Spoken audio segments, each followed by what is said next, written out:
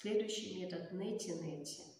Вы обнаруживаете, что мы все очень цепляемся, нас все время энергия вытаскивает из э, попытки войти в глубину своего созерцания.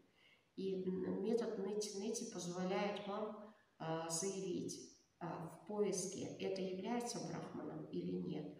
Вы определяете, это то, на чем мне надо, фиксировать себе в сознании или нет. Допустим, сначала нети-нети по отношению к внешней реальности. Если вы обуславливаетесь как у вас в комнате, насколько чисто, насколько удобно, насколько комфортно.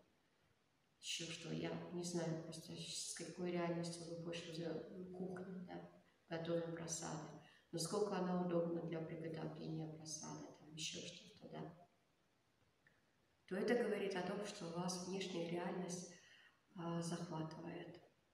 Зима или лето, да, в диалоге и так далее.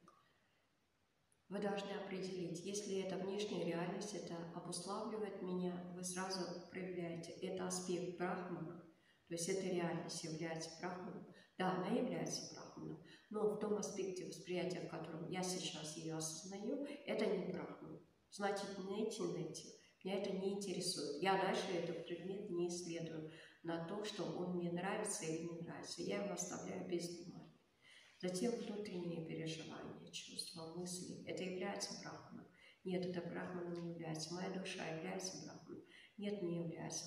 Мои предпочтения, определения, э, мои интересы и так далее, это является брахманом. Нет, это не является.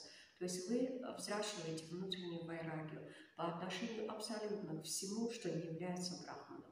То есть мне интересен только один объект – брахман потому что я хочу высвободить свое сознание, и мое сознание высвободится только в обнаружении Брахмана. Поэтому все, с чем я взаимодействую во внешней реальности, все, с чем я взаимодействую во внутренней реальности, я поиск осуществляю. Является ли это Брахманом или нет. В моем восприятии